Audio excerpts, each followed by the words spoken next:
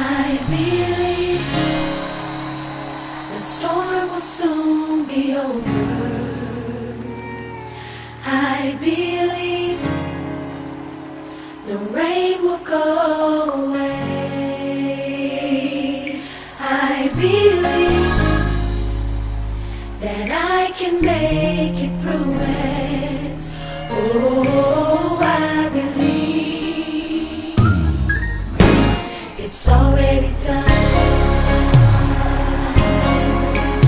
want you to already see yourself out of the storm.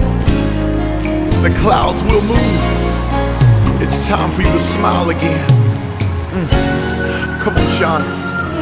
I believe my family will get better.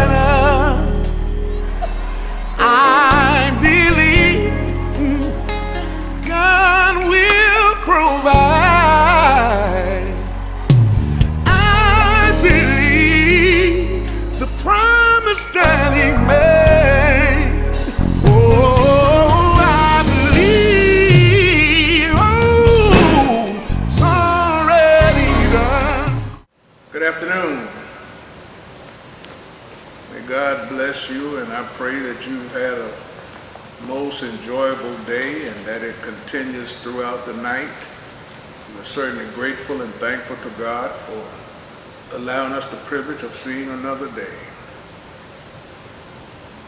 Let us pray. Merciful and eternal God, we thank you for life. We thank you for health and strength. Thank you for the safekeeping and the sparing of our lives. And now, God, we know that we need power for living, and we know that power for living comes from your word. And so we ask that you would speak to us through your word.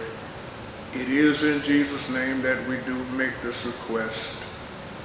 And all of us say amen.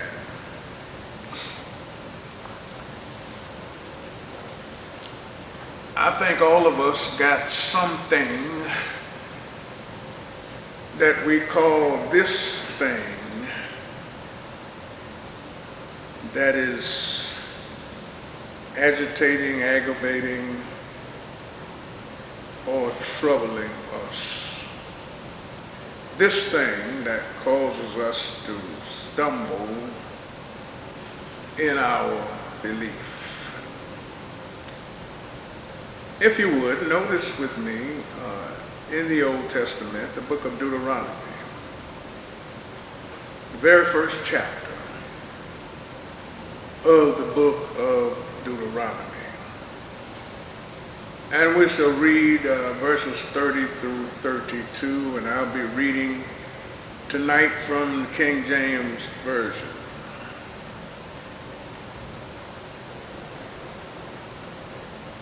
Deuteronomy 1 and 30. The Lord your God, which goeth before you, he shall fight for you. According to all that he did for you in Egypt before your eyes. And in the wilderness where thou hast seen how the Lord thy God bear thee, as a man doth bear his son, in all the way that he went, until he came to this place. Notice carefully our focal verse. Notice carefully our verse where we uh, get our inspiration. Verse number 32 says, Yet in this, in this thing, yet in this thing, ye did not believe the Lord your God. Yet in this thing, this thing, you did not believe the Lord your God. What is your thing that is causing you to doubt the word of God? What, is your thing that is causing you to miss your blessing. Moses told the Israelites, Yet in this thing you did not believe the Lord your God. You, you, you've seen how God has delivered us from Egypt. You, you, you've seen how God fed us, how God kept us in the wilderness. You, you've seen the miraculous deliverance of God through the Red Sea. Yet in this thing, you did not believe the Lord your God. My brothers and sisters, everyone faces challenges in some form or the other. In life, some people are completely overwhelmed by their challenges, and others refuse to give up. But my question to you today is do you believe God? Do you believe God? Everyone faces challenges in life. Everybody faces one challenge or the other. But when we are challenged, let us remember that God has, what God has done for us before. When we meet with a challenge that's overwhelming, let us remember what God has done for us before. God is worthy of our complete commitment, obedience, and trust. He's worthy of our trust. He's proven himself to be worthy of our obedience, our commitment, and our trust. In the book of Numbers, in the book of Numbers, Numbers chapter 23 and verse number 19, the Bible gives us a description of the trustfulness of God. God is not a man, Numbers 23 and 19, that he should lie. Neither the Son of Man, that he should repent. Hath he said, and shall he not do it? Or hath he spoken? And shall he not make it good? My brothers and my sisters, let us keep in mind that God is not like people. People who lie. He is not a human who changes his mind. Whatever he promises, he does. He speaks and it is done. We don't have to call God out of heaven. We, we don't have to call God down here. He's already here. He's everywhere at one time. And God does not have to manifest himself to us. All God has to do is say, let there be. And there is.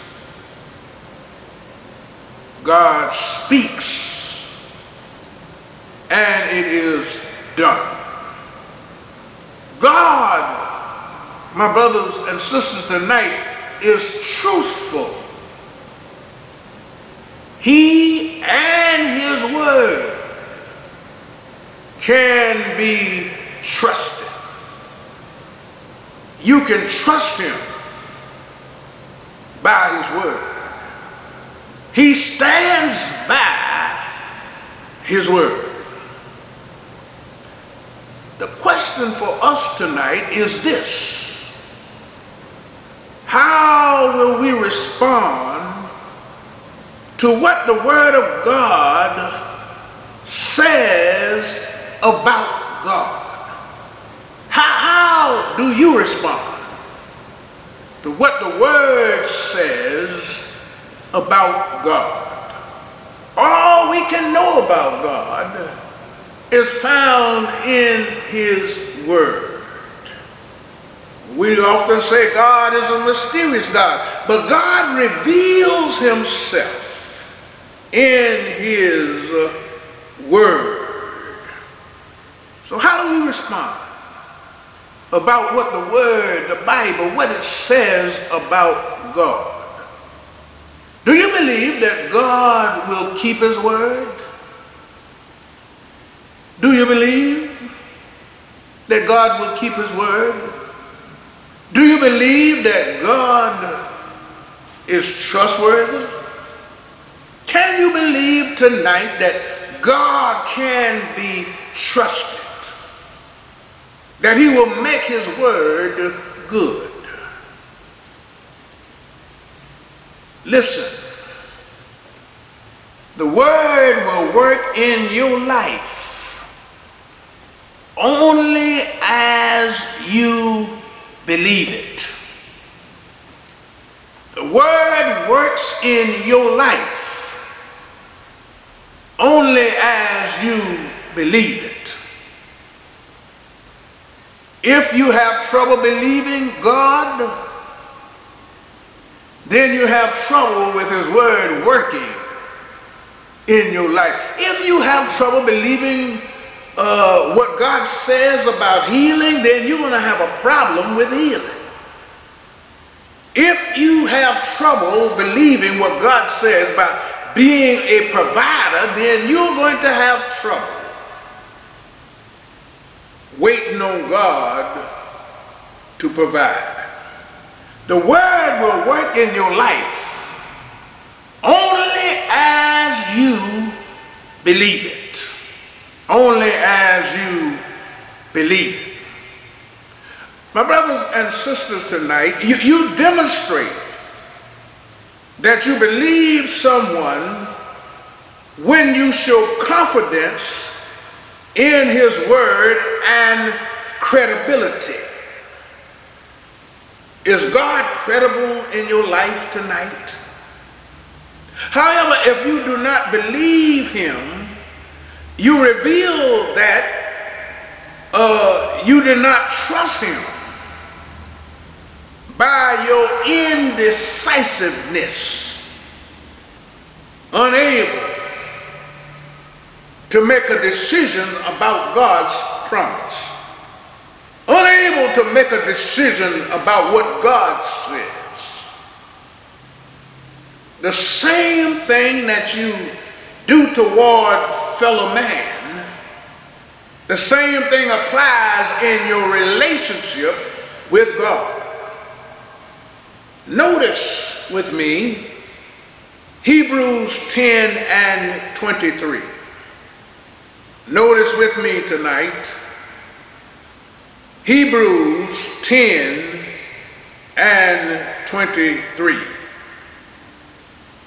The King James Bible says, let us hold fast the profession of our faith without wavering. For he is faithful that promise. The, the word, the word, the word waving, wavering. Hold fast the profession of your faith without wavering without being indecisive, without being indecisive, without being persuaded, without having confidence. And the reason why we should hold fast to our faith without wavering is because he is faithful. The Bible says that promise. He is faithful that promise. God is faithful that made the promise. And so let us hold firmly, no, not with a slack hand, but firmly, firmly. Let us hold tight, tight, tight. Let us hold tight to the hope we profess. And, and the word profess simply means what we claim to be, what we claim we believe, who we claim we are. Let us hold fast, hold firmly to the profession of our faith. Why, Brother Pastor? Because we can trust God to keep his promise. We can trust him, keep his promise. My brothers and sisters tonight, you demonstrate your belief or disbelief in God by not believing or believing what God promised will come to pass. If you have no confidence in the Word of God, you have no confidence in God. In God. But I'm happy to know tonight that that that that our confidence, our confidence in God or our confidence in God's word does not disturb God. It does not bother God. For Second Timothy says in Timothy 2 and 13, 2 Timothy 2 and 13, the Bible says, if we believe not, if we believe not, yet, yet, he abideth faithful. He cannot deny himself. Why are you losing to this thing that you're going through? Why are you allowing this thing to dominate your life? Why are you allowing this thing that you're going through to doubt God? Why are you allowing this thing to cause disbelief in your life? whatever this thing is in your life. This thing in the Israelites' life where they were afraid to take the promised land. What are you afraid of? What are you fearing tonight? What is your this thing? It does not disturb God how you look at your thing. Because Timothy says, if we are not faithful, God remains faithful. What we do doesn't determine how God does. You know, some of us like to treat people like they treat us. But God is not like that. What we do does not determine what God does. If we believe not yet, he remains faithful because he cannot be false to himself. He cannot deny his word. He cannot deny himself. God is the truth. And he's the truth from everlasting to everlasting. And he cannot deny himself. He cannot be false to himself. Your belief tonight about your this thing, your belief tonight is evidence, it's the proof, it's the confirmation, it's the ver verification that you trust God. Your belief in whatever you're going through tonight is the evidence, it's the proof, it's the confirmation, it's the verification that you trust God.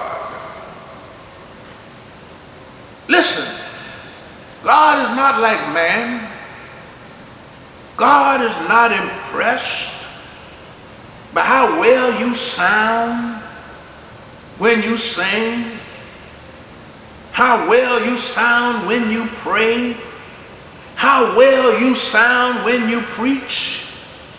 Neither is he impressed by how well or how many passages of scripture you can quote. God is not impressed with our performances. Listen, as we close, God takes action, God takes steps, God makes a move, God does something when you believe his word. He does something. He takes actions, he takes steps, he makes a move when you prove it by acting on his word. When you believe his word and when you prove it by acting on his word, God makes a move in your situation. My brothers and sisters, tonight, believe, belief is trust in action. Belief is trust in action. God will do what he says he will do.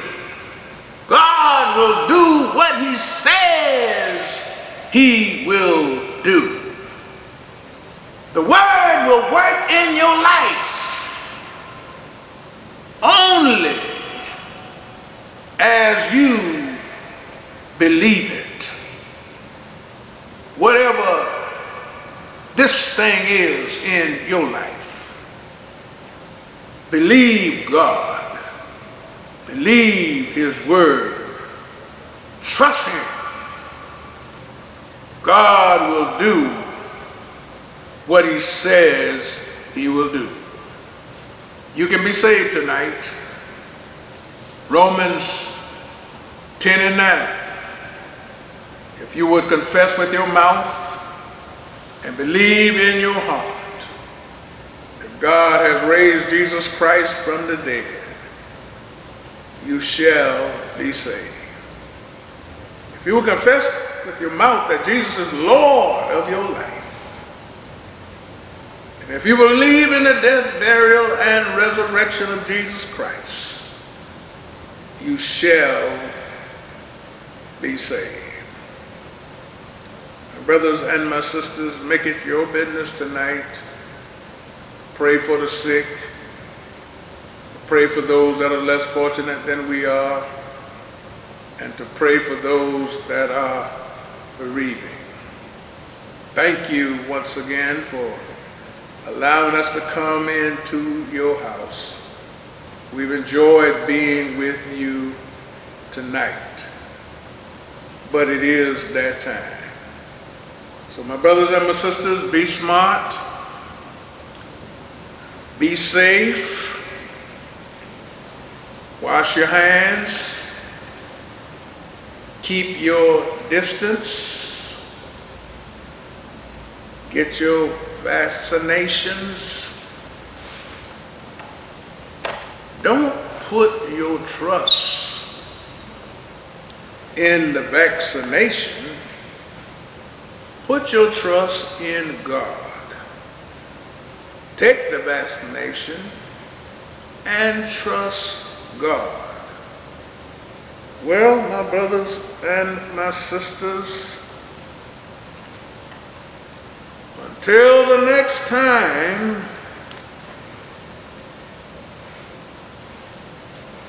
we're gonna see ya. Yes, I do believe. Yes, I do believe. You need to call somebody right now and tell them God's gonna do it. Ah, we believe. Oh, we do it for a night. Oh, Joe. If you don't remember anything else, I believe. Remember this. Your storm is over. I believe your rain is gone away. Clouds have moved. I believe you make it through it.